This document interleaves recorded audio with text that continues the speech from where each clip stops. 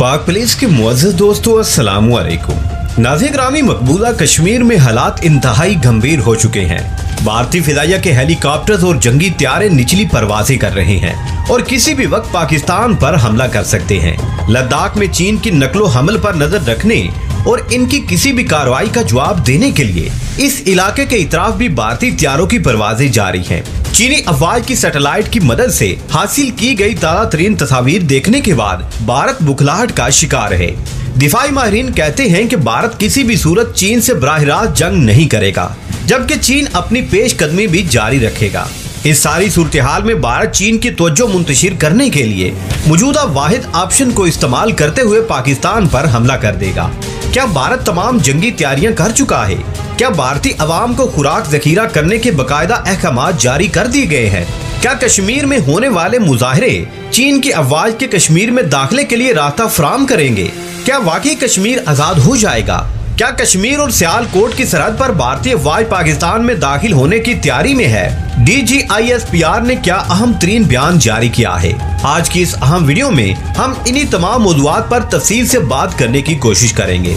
लेकिन इससे कबल यहाँ हसबे रवायत चैनल पर नए आने वाले तमाम दोस्तों से इल्तमास है कि पहले पाक पुलिस को सब्सक्राइब करते हुए साथ मौजूद बेल आइकॉन को भी दबा लें। ताकि हर नई आने वाली वीडियो की नोटिफिकेशन आपको बसानी मौसू हो सके। नीज हमारे इन काफियों का सिला हमारी वीडियो को लाइक करके ज़रूर दिया कीजिए। तो आइए नाजरीन, चलकर आज के अहम और दिलचस्प मौजू का आगाज़ करते हैं। मुआज नाजे ग्रामी भारत सरकार की जानब से लद्दाख और कश्मीर में शहरियों को दो माह के लिए खुराक और ईंधन जखीरा करने के अहकाम जारी किए गए हैं। अमूमन नवंबर के आगाज़ में मकामी लोग खुराक और ईंधन वगैरह जखीरा करते हैं, ताकि पहाड़ों पर बर्फबारी से रास्ता बंद होने और कारोबारी ज़िंदगी मुअत्तल होने की सूरत में इन्हें इस्तेमाल किया जा सके। लेकिन ये पहला मौका है कि मौसम सरमा आने से पहले ही इस किस्म के अहकाम बाकायदा तौर पर हुकूमत की जानब से जारी किए गए हैं। साथ ही इन इलाकों में मौजूद बड़े स्कूलों को हंगामी बुनियादों पर खाली करवा कर इन्हें फौज के लिए तैयार कर दिया गया है, ताकि जंगी सूरत हाल में इन्हें फौजी कैंप के तौर पर इस्तेमाल किया जा सके। मौसद ग्रामी इन इकदाम से भारत के अंदर पाई जाने वाली बेचैनी और अगले चंद दिनों में खत्े की मजमू सूरत हाल का अंदाज़ा लगाना मुश्किल नहीं। पाक पुलिस आपको लम्हा ब लम्हा बदलते हालात से आगाह करता रहा है कि भारत चीन के हाथों पिटने के बाद अब इंतहाई बुखलाहट का शिकार है।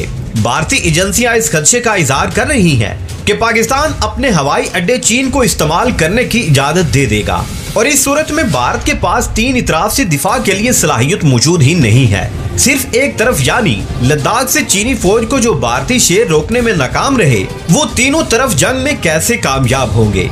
कारगिल और सियाचन के महाज पर पाक अफवाज भी झपटने को तैयार बैठी है तो नेपाल भी किसी भी वक्त हमला आवर हो सकता है। भारतीय वज़ीर दिफा ने मुतनबे करते हुए कहा है कि उन्हें रूस के दौरे के मौका पर रूसी हुकाम की जानब से किसी भी किस्म के ताउन की उम्मीद नज़र नहीं आई, बल्कि उन्हें चीन से ताउन करने के लिए कहा गया है।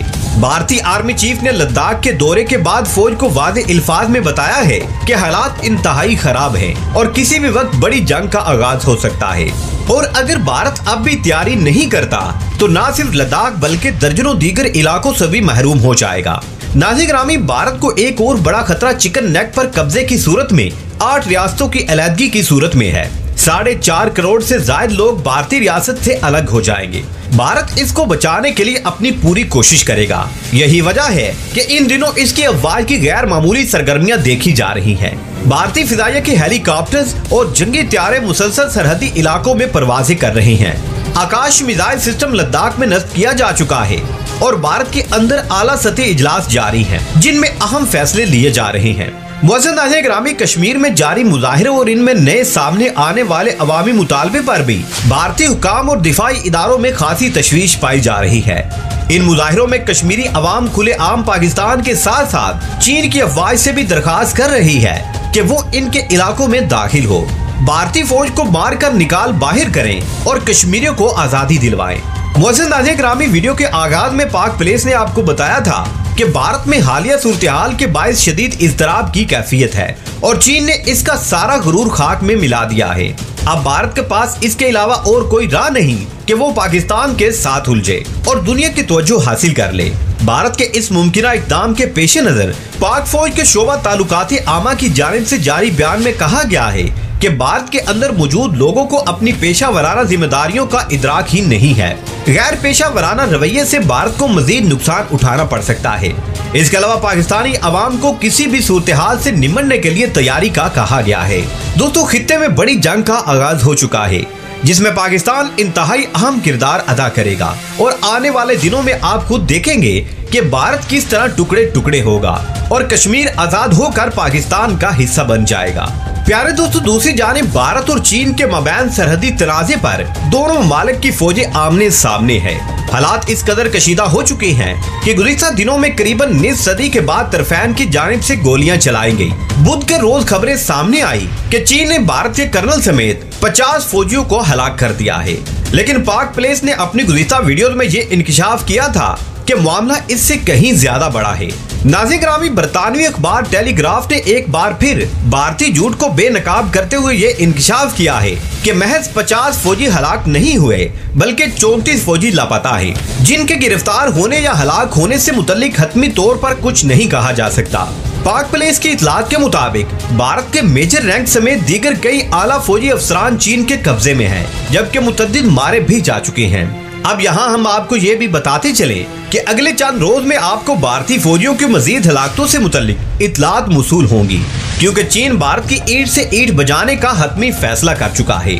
चीन की जानब से भारतीय फौज को ये वाजे पैगाम भिजवाया गया है कि चीन अपने जेर कब्जा भारतीय फौजियों को पहाड़ से नीचे फेंक देगा, जिससे इनकी मौत वाकई होना यकीनी अमर है। चीन अब पूरी तरह भारत के गले की हड्डी बन चुका है।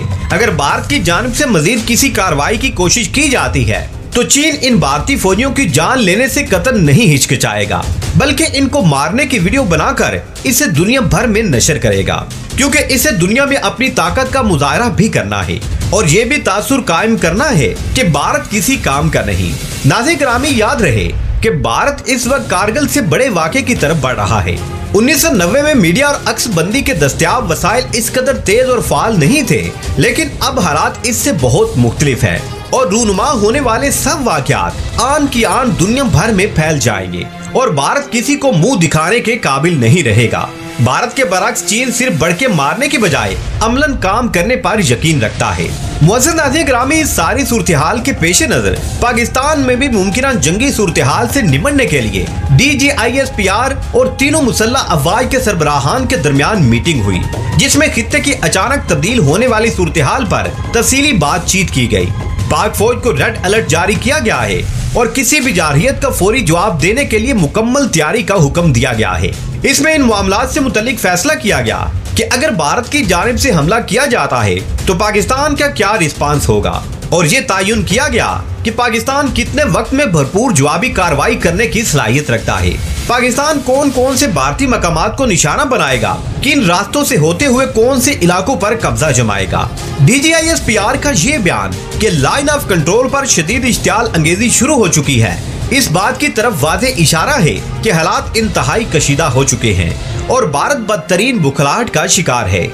वो पाकिस्तान की सरहद पर और पाकिस्तान के अंदर भी हालात खराब करने की कोशिश करेगा। लेकिन पूरी दुनिया के सामने वादे हो चुका है कि नरेंद्र मोदी भारत का नाकाम तरीन वजी साबित हुआ है और भारत इन दिनों बदतरीन हालात से गुजर रहा है। मोजिज दोस्तों, आइंदा चंद दिनों में इस कशीदगी में बेहद इजाफा होगा और इन भारत अपने अंजाम को पहुँचने वाला है। खत्े के हालात क्या रुख इख्तियार करेंगे, ये तो ज़ाहिर है, आने वाला वक्त ही बताएगा।